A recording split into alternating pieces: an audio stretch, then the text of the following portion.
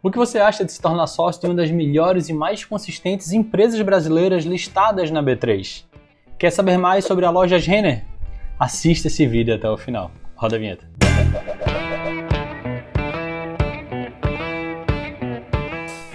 Fala sócio, beleza? Rafael Sebre aqui do Quero Ficar Rico e nesse vídeo eu vou falar sobre a loja Renner. Para mim é a minha empresa favorita no ramo de atuação dela e também é a maior empresa do Brasil no ramo de varejo de moda, tá? Maior varejista de moda no Brasil, à frente de CIA e Riachuelo. Então é sobre a loja Renner que a gente vai falar a partir de agora. Se essa era uma empresa que você queria conhecer um pouco mais a fundo, já deixa teu like aqui desde o começo do vídeo, tá? Só clicar no joinha, para você não é quase nada, mas para mim faz uma baita diferença, porque mostra ao YouTube que esse vídeo é interessante e que pode interessar outras pessoas também.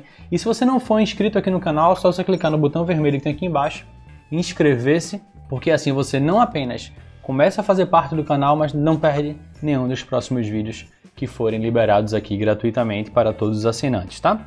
E no final do vídeo, se você curtir esse vídeo e achar que ele realmente valeu a pena, compartilhe ele também. Tem um botãozinho aqui embaixo também para você compartilhar, como se fosse uma setinha, você clica nela para poder compartilhar o vídeo com seus amigos, pode compartilhar pelas redes sociais, copiar o link, mandar pelo WhatsApp, fazer como você bem entender, tá? Então, feito esses pedidos iniciais, vamos falar agora sobre a loja Renner. Antes de falar especificamente sobre a loja Renner, contar um pouquinho da história dela, contar os principais destaques e entrar na parte dos números dela, que é o que eu costumo chamar do vestibular da sociedade milionária, eu preciso de anunciar, fazer um, um, um disclaimer desde agora, tá?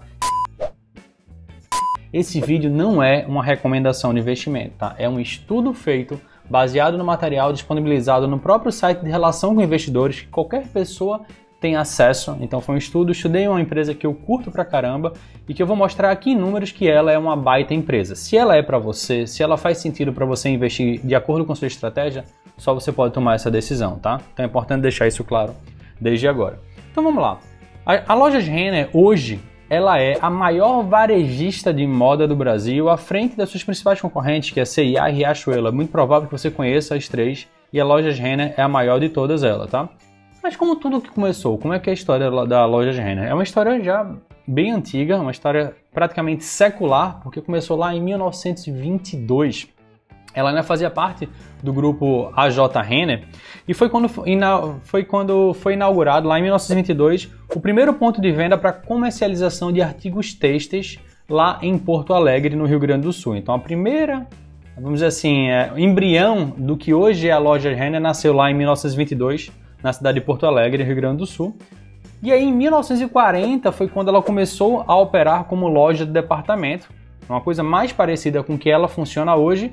E só em 1965 ela ficou independente do grupo AJ Renner e aí constituiu-se então a companhia, a empresa Lojas Renner SA, que é como a gente conhece ela hoje. Então isso foi lá em 1965 e já em 1967 foi feito o IPO dela, é isso mesmo, a abertura de capital da empresa foi feita em 1967, de modo que hoje, em 2020, a gente já tem o quê? Mais de 53 anos de história dessa baita empresa, dessa empresa super consistente, como a gente vai ver é, ao longo desse vídeo, tá? Então isso é um ponto muito positivo quando a gente pensa em governança, em histórico, em fazer estudos sobre a empresa. É uma empresa que está no mercado há muito tempo. E uma outra coisa muito interessante da loja de Renner, duas coisas na verdade, mas a primeira delas é que ela foi a primeira empresa brasileira com 100% das ações negociadas em bolsa. Então, muitas vezes, quando a empresa abre o capital, a grande maioria das ações ficam na mão dos controladores, ela só vende, sei lá, 25, 30% do capital dela e tá tudo bem, isso aí já dá uma quantidade boa de. de, de que é, é, o, termo que a gente usa é de free float. Uh, essa quantidade de negociação já seria legal, já seria bem bom. A loja Renner trabalha com, free float de 100%. Todas as ações delas são possíveis de serem negociadas no mercado, o que não impede que alguém compre uma quantidade e retenha, simplesmente decida não vender. Mas ela é a primeira empresa a ter esse free float de 100%. Isso é importante deixar claro também, mais um ponto positivo para a governança, mais um ponto positivo para os sócios minoritários. E ela está listada no novo mercado. Novo mercado é o grau mais elevado em termos de governança corporativa na B3 mais um ponto positivo para a empresa. Então aqui, feita essa rápida introdução sobre ela, já dá para ver que tipo a conversa tende a ser promissora. Vamos dar uma olhada agora, antes de entrar nos números dela, sobre sete principais curiosidades da loja de Rennes, pelo menos de acordo com a apresentação dela que eu vi é, baseado no, nos resultados de 2019, tá? Então eu trouxe sete pontos aqui sete pontos de interesse que eu acho que, que podem chamar a tua atenção. O primeiro delas é que a receita bruta da loja Renner em 2019 foi de 13 bilhões de reais. Então a gente não está falando de uma empresa que movimenta pouca grana. Uma empresa que movimenta muita grana, dezenas de, dezenas de bilhões de reais como receita em 2019. Outro ponto interessante, segunda curiosidade sobre ela, é que ela tem 603 lojas, mas não são, ela não usa apenas a marca Renner, ela, ela tem outras marcas atreladas no seu portfólio. Então dessas 603 lojas, 380 são Renner, 8 são a Shua, que é uma, um conceito bem recente dele, que está ainda, tá ainda funcionando como uma loja piloto, 114 da Kamikado e 101 da Yukon, é, mais voltada para moda jovem. Outra curiosidade da loja Renner, ela tem quatro CDs, quatro centros de distribuição espalhados pelo Brasil, onde dois deles funcionam de maneira automatizada. Então, uh, isso facilita muito num país do tamanho do Brasil, num país continental, você ter mais de um centro de distribuição para poder agilizar o processo de distribuição do seu estoque, de entrega, de delivery, seja nas vendas online ou de abastecimento das lojas isso é mais um ponto positivo para a loja. Ela fechou 2019 com mais de 24 mil colaboradores, 24.200 colaboradores. Desde 2005, ela tem uma valorização das ações de mais de 6.100%. Às vezes, quando o número percentual fica tão grande, a gente meio que se perde, mas é você multiplicar. Se tivesse investido lá em 2005, até agora é como se tivesse multiplicado o seu capital por 62. Então a gente não está falando de um número baixo. A gente está falando de um número extremamente alto de uma empresa que só faz crescer também desde 2005. Então, fica até previsível o sucesso de uma empresa como essa.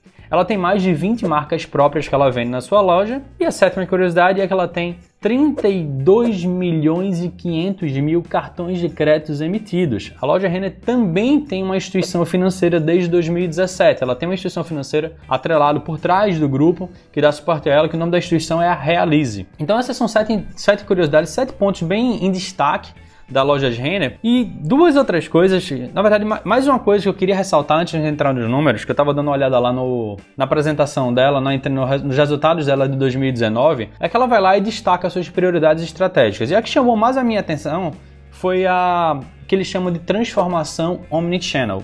O que é essa transformação omnichannel? Que a loja de renda ela já colocou, já vem colocando isso em prática. Eu já experimentei isso na prática como cliente da loja de renda. Eu vou dar um destaque aqui a cinco principais pontos disso, mas basicamente é uma maneira de você conseguir integrar suas lojas físicas com a venda online e integrar suas vendas online com as lojas físicas. O que, é que você quer dizer isso com, com isso, Rafael? Por exemplo, o primeiro ponto é o uso de estoque das lojas físicas. Como isso funciona? Muitas vezes, quando você faz uma compra online, em vez de ela mandar o produto do que está lá desde lá de São Paulo, dependendo de onde você, de onde você mora, ela pode pegar, usar o estoque da loja dela física para poder fazer a entrega, ou mesmo você ir fazer essa retirada na própria loja. Isso daí faz com que ela tenha o quê? Um delivery muito mais rápido e ela consegue também, até pelos centros de distribuições espalhados pelo Brasil, ter um menor custo de entrega. Agora mesmo, durante essa pandemia do coronavírus, a loja Renan está fazendo vendas online com frete gratuito para qualquer valor. Comprei, liter, estou literalmente vestindo uma camisa da loja de Renner aqui. Eu comprei essa camisa que custou R$29,90, ela me entregou aqui na minha casa sem precisar pagar frete. Então ela tem essa vantagem competitiva também para o negócio online. Um outro ponto é você poder comprar online e retirar na loja. Muitas vezes as pessoas querem fazer isso até para agilizar, não quer esperar aquele, sei lá, 5, 8, 10 dias úteis para poder o produto chegar na sua casa. Claro que durante a, essa pandemia, enquanto as lojas estiverem fechadas, isso aí não faz sentido, mas quando as lojas reabrirem, vão reabrir o quanto antes você pode fazer uma compra online e retirar diretamente na loja física mais perto de você. Isso agiliza muito, principalmente para as pessoas que querem comprar e ter uma entrega rápida. Muitas vezes até diminui o número de desistências.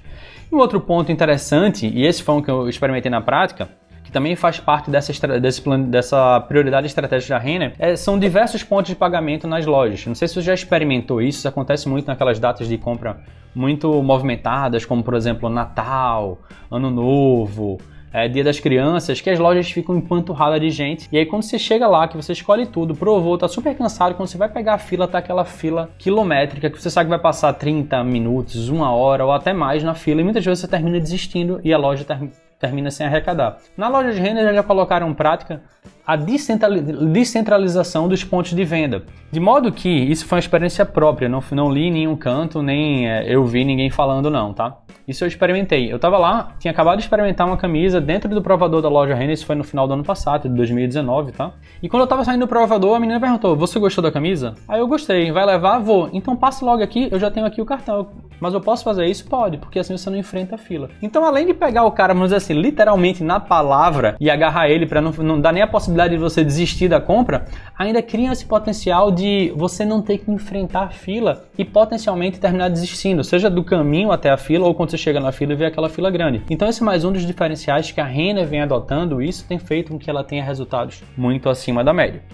Bem, fiz a apresentação da loja, contei um pouquinho mais de história, aparecendo até mais uma vez uma propaganda e não é, tá? Esse vídeo não é patrocinado, nem eu tô recebendo nada para falar dele. Apenas estou falando de uma empresa da qual eu sou sócio e que eu gosto pra caramba. Mas feito todo blá blá blá, vamos dar uma olhada agora nos números, né? Porque não adiantaria nada eu estar tá falando aqui cheio de coisas bonitas se ela tivesse com prejuízo ou com problemas de governança, com a dívida alta, não adiantaria nada. Então vamos dar uma olhada agora como a Renner se comporta no vestibular da Sociedade Milionária. O primeiro ponto do vestibular da Sociedade Milionária é a governança corporativa. Eu sempre gosto de começar por aqui, porque se a empresa não passa nesse ponto, eu acho que não vale nem a pena você se alongar no estudo da, da empresa, tá? E nesse ponto a loja Renner é aprovada assim, com nota 5 estrelas.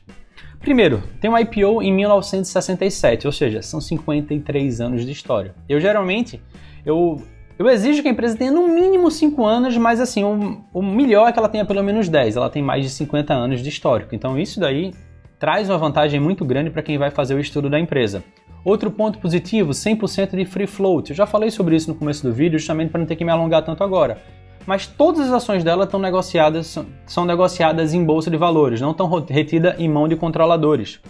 Outro ponto fundamental para uma empresa que você deseja se tornar sócio, ela está no nível de novo mercado. Ela é uma empresa do novo mercado, ou seja, 100% das ações dela negociadas são do tipo ON, são ações ordinárias, são as mesmas ações que os acionistas majoritários têm. Então você tem exatamente a mesma ação do que a pessoa que tiver mais ações da loja Renner, do que as pessoas que tomam as principais decisões relacionadas à empresa. Então isso é um ponto muito positivo para sócios minoritários, que é justamente o código LREN3. Esse é o código da loja Renner que eu não tinha falado até agora. E um outro ponto muito legal também da loja Renner é que ela não tem rolos evidentes. E aqui, quando eu falo nesse ramo de moda, o que, é que acontece geralmente?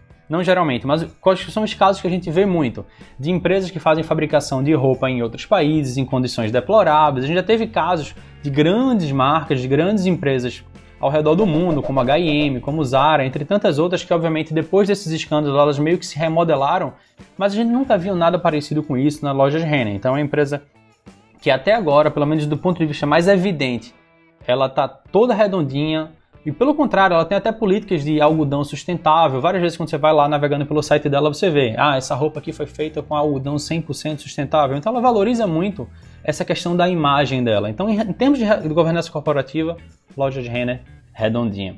Segundo ponto, endividamento. Aqui também não tem nenhuma preocupação. Ela tem uma dívida líquida, ela fechou o ano de 2019 com uma dívida líquida de 273 milhões. Esse número só faz cair desde, desde 2015. Daí dá para ver o, a preocupação da, da loja de Renner em que? Em pagando suas dívidas, reduz, reduzindo seu endividamento, que é baixíssimo. Daqui a pouco eu vou deixar, vou mostrar por que, que ele é baixíssimo.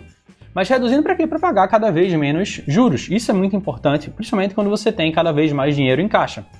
Ela tem, quando eu falo que o endividamento é baixo, que esse número é muito baixo, é porque essa dívida líquida sobre o EBITDA dela, esse número, é, para ser baixo, para ser aceitável, ele teria que ser menor que 3. No caso da Renner, dívida líquida sobre a EBITDA está em 0,11, bem menor do que 1, quanto mais menor do que 3. Então, assim, em relação ao endividamento, não tem do que se preocupar. Uma dívida de 270 milhões, quando você tem lucros bilionários, a gente vai ver daqui a pouco a parte dos lucros dela, faz o que se ela quisesse, ela pagava essa dívida imediatamente, se assim ela quisesse, tá? Então, em relação ao endividamento, 100% também aprovado. E a gente chega nos resultados. Os resultados da loja Renner, na minha opinião, é um, das mais, um dos mais lindos que você pode ver quando você está analisando uma, uma empresa na bolsa de valores. É daquelas que você queria que todas fossem assim, que fica até fica é até vamos dizer assim boring, é até meio entediante quando você vê. Por quê? Primeiro, o lucro dela ela tem lucro nos últimos 17 anos. Nos últimos 17 anos, ela sempre teve lucro. Um outro ponto muito interessante, que aqui é que eu falo que chega a ser até entediante, é que desde 2004 o lucro líquido só faz crescer, sem exceção. Não teve nenhum ano que ele andou de lado ou caiu um pouquinho, nem ter sido um milhão, não. É um número que só aumenta desde 2004, mesmo passando por crises como a gente teve em 2000, em na, aquela crise financeira de 2008, não teve impacto na Renner, pelo menos do ponto de vista de crescimento e de lucro. Em 2019, ela fechou com lucro líquido de 1 bilhão e 99 milhões, um baita de um lucro. E esse número, como eu tinha dito, ele vem crescendo e nos últimos 5 anos cresceu 89,8%. Como efeito de comparação, em 2015 o lucro tinha sido de 579 milhões e agora, em 2019, ela fechou com um lucro de 1 bilhão e 99 milhões. Então, em relação aos resultados também, nada se preocupar, uma baita empresa. E aqui só para colocar a cereja no bolo, porque só até aqui os números já estavam bem redondinhos, a gente vê o ROI. O que seria o ROI?